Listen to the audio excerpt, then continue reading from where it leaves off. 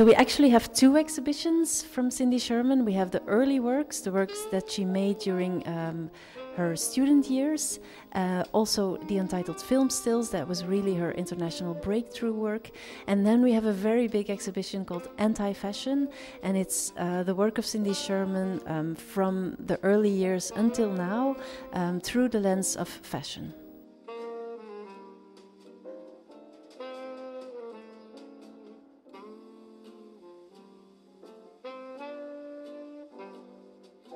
So in the exhibition Early Works, we have works that really go back to her uh, student years uh, when she was studying um, art in, in Buffalo in the United States. And this is this is work that is rarely shown. So it's really a discovery um, that you can find here, um, and you see all the the basic, all the the the, the seeds of what she will continue to do throughout her whole career. Um, her artistic strategy is really being developed in those years, and you can see that very clearly.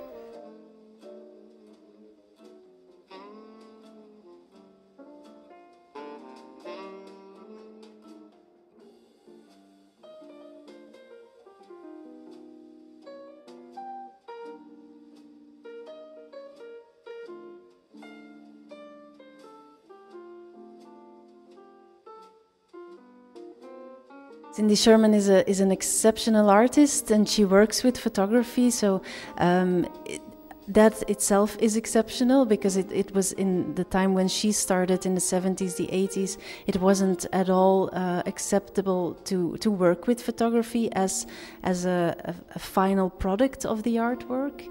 Um, so that was was really she was a, a, pioneer in that, also as a woman, um, not to forget, and she has kept on. Um, being that artist and, and uh, repeating that same strategy very consequently um, over the, the 50 years of her career. So that's really exceptional, and, and she has always remained very relevant in that.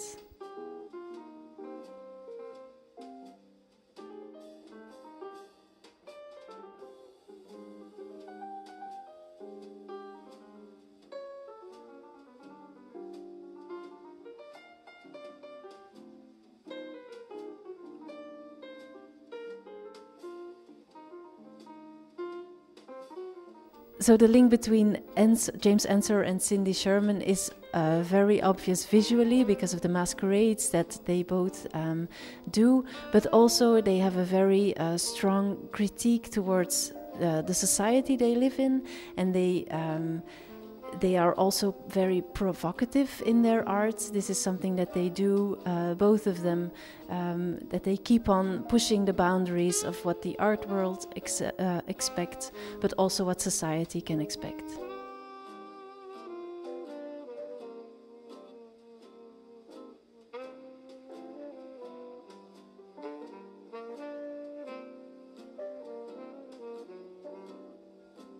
Um, Cindy Sherman is an, is an artist who uses photography um, as a medium.